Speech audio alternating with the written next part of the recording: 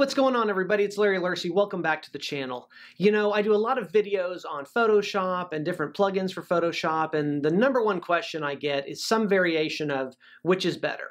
Photoshop, Topaz, Luminar, which should I use? Which should I get? And it's a very complicated question, but I thought what we would do today is go ahead and dive into that. And I'm going to talk about the strengths and the weaknesses of each, why I use which one, and maybe that'll kind of help give you a little direction on which way you want to go. It's going to be really interesting, and we've got a lot of ground to cover, so let's not waste any more time. Let's roll the intro.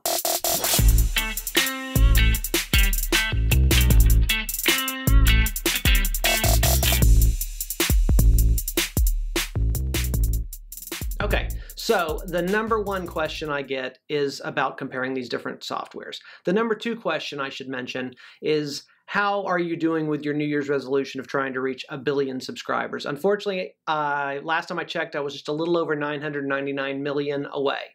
So still a little ground to make up, but if you will take a second to subscribe before we get going, uh, I can inch a little bit closer to that goal. So let's take a look at the different softwares. The three specifically we're going to look at today are Photoshop, Luminar AI, and Topaz.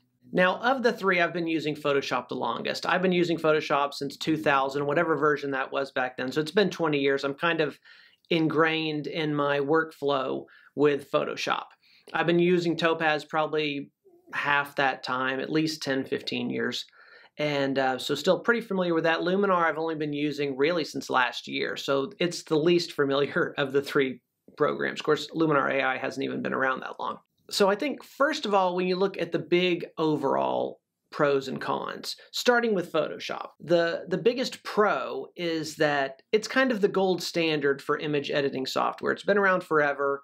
It is a beast of a program. It does so many different things. Most people only use 10 15% of the stuff that it actually does. Uh, it's such a broad program. The downside to that, of course, is the learning curve it can take a long time to get comfortable with Photoshop. And you can have someone who's been using it 20 years who finds out something like, oh my gosh, I didn't realize it did that, or I've been doing this the wrong way. So it's kind of a never ending learning curve. And every time they come out with new updates, you're kind of going to go through that a little bit as well. However, once you kind of wrap your head around how things work in Photoshop, even when they change things, it's pretty easy to adapt. And as you start learning how the tools work, they get more and more powerful because you have a better control of how to use them properly. Another negative to Photoshop, in my opinion, is the price. You have to subscribe to it every month. Now, unless you've got an older version of Photoshop that you're using, but I'm assuming that you want to keep current and be using the, the newest type thing, you've got to do a subscription,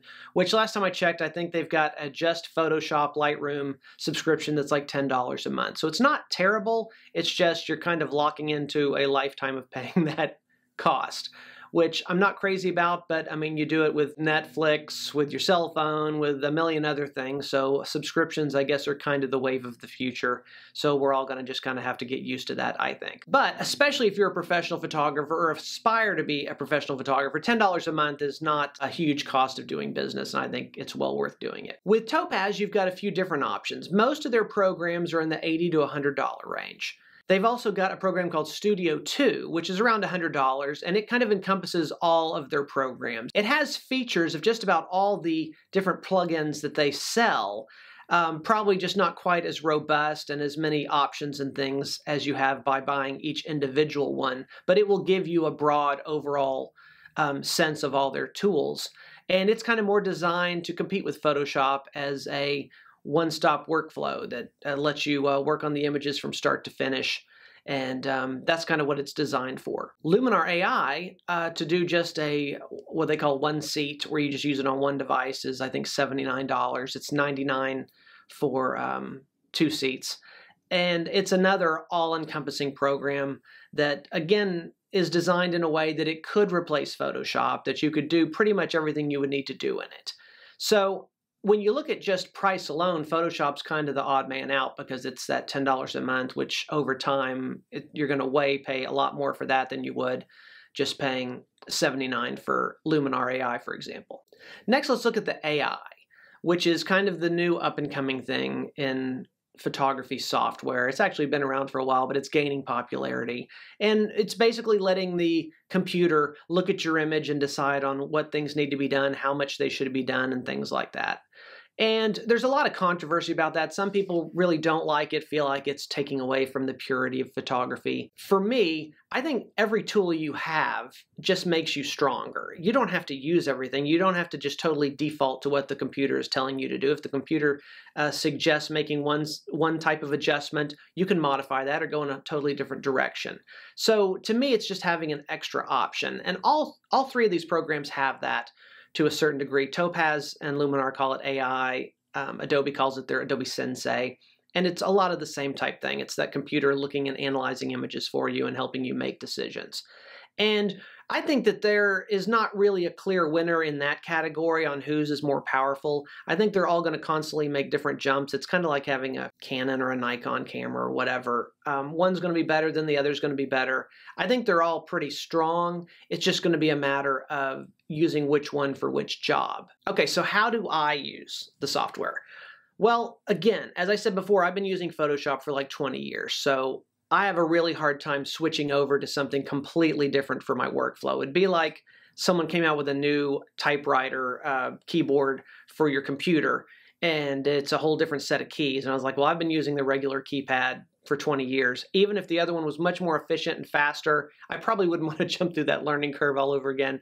So I stick with Photoshop for the bulk of what I do, at least as far as the nuts and bolts things. Opening a file, doing the basic adjustments to it uh, finishing out a file um, at the end, exporting it, and things like that.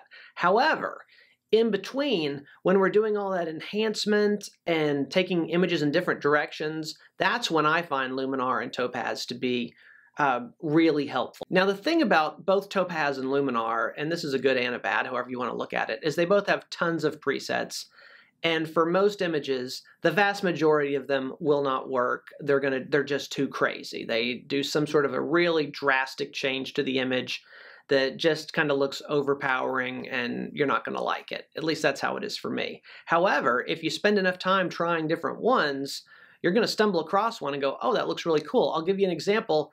I did a, a senior session recently and just decided to take the image into Topaz and try out a couple of different presets on it and went through. And all of a sudden, I came across one. It was actually called Blueprint, which gives it just, I guess, like a blueprint type look, but everything's really blue and more line drawing looking.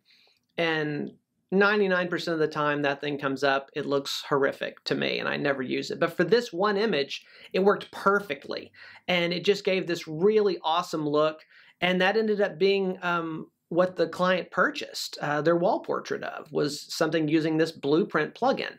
And so in certain occasions, it works perfectly. You're just going to have to kind of go through and find the right one, whether it's in either one of those pieces of software. Obviously, you can go in in the pure manual edit mode and just go right to making all those changes. And as you get better at it and learn those tools, kind of like in Photoshop, you know right where to go. If you want to sharpen something, you know right where to go. If you want to add contrast, you know right where to go.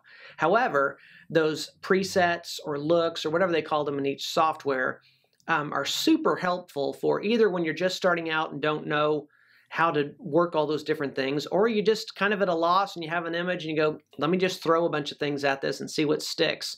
And you'll really be surprised how many times something like that does stick. And that's the thing about it is especially if you're a professional or serious about doing this, all you need is one or two of those presets to really make a difference for you and create an image that is a sellable image for you that wouldn't normally have been a sellable image. And software's already paid for itself. So it's a low enough entry point with both of those that I think it's well worth having it. I should mention, by the way, with both Topaz and Luminar, you can use the discount code Larry Photo to get a little bit of a discount on the software if you decide you want to try those out. I've got links down in the description of how to get to all three softwares if you don't have one of them and you want to learn more about it. So feel free to check those out. Remember to use that coupon code if you do end up making the purchase and it'll save you a little bit of money. Which brings us back to the question of which is better between the three. You know, which is the better sharpener? Which is the better denoise? Which is better at removing unwanted objects? Which is the better sky replacement? And I think those are all going to be different. I think the answer is going to be different for each one not only for each category, which uh, which software may be better at sky replacement, the other one may be better at sharpening, and the other one may be better at denoise. Unfortunately, there's not one that clearly dominates the other two. They're each going to have their own strengths and weaknesses, and if you've watched some of my videos where I've compared you know, sharpening something in Topaz versus Photoshop or adding sky in one versus the other. You can kind of see that there are times that one definitely does better than the other, but a lot of times it depends on the image. It depends on which version you have. You know, uh, they're constantly updating these softwares. And so while the current version of one may be better than the other, six months from now, maybe by the time you're watching this video, the next one is better. So you're going to have to kind of investigate it and see which ones that you use the most, um, which one does the job better. For me, they're close enough and they have different strengths that I use all three pretty regularly. Again, I do the bulk of my nuts and bolts workflow in Photoshop, and I do a lot of the sweetening or taking stuff in a crazy direction with Luminar and Topaz. For example, when I'm doing sky replacements right now, I almost always just use Luminar because I think right now they've got the kind of easiest to use, best working workflow on dropping in skies because it not only drops in the sky, it gives you the reflection in the water, which is really cool, and it uh, affects the scene. It just works really well. But the other two are coming along in just about every category as well. And so it really depends on what it is you're trying to do. So the big question is if you don't have all these pieces of software, which one should you get?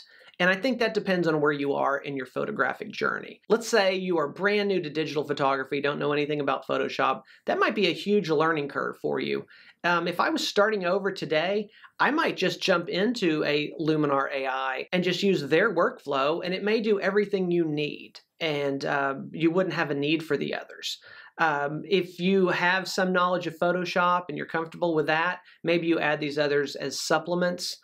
It, just kind of depends on how much time and money you want to invest into it. And I think that for me, Photoshop is kind of the one standard. But I think Luminar and Topaz could both be that standard for you, especially if you've got very specific needs. If all you're doing is opening an image, sharpening it, maybe removing noise, um, giving it some sort of saturation and things like that. Either one of those software, Studio 2 or Luminar AI, will probably fit the bill for you. And for just a one time payment, you have that software and it will do everything that you need. You won't have the power and flexibility of Photoshop, but chances are you weren't going to use that anyways. If you're a professional or starting down the road of being a professional, I think you have to have Photoshop just for the flexibility. But at that point, I would probably add one or both of the other plugins just to give you that extra little uh, set of options to tweak your images and things like that. Again, uh, you, it's just a cost of doing business, and I think they're relatively inexpensive, especially if you use a discount. And so, to me, those are both kind of no-brainer purchases. But that's how I see the three. Would love to hear your thoughts on which you use, uh, what you think it does well, what you think it does poorly. Um, do you agree with uh, my evaluations of them, or do you have different thoughts? So I'd love to hear your thoughts. Leave me a comment. But hopefully that gives you an overview of what the three do and gives you a little direction on where you should go. Uh, again, depending on where you are in your photographic journey. They're all great tools. They all do a lot of things. Honestly, you could probably get by with just one uh, of the three. But uh, I don't know, I'm a bit of a software hoarder, so I have all three of them because I can't help myself. Anyways, I hope that helps. I hope to see you soon. Take care. Bye bye.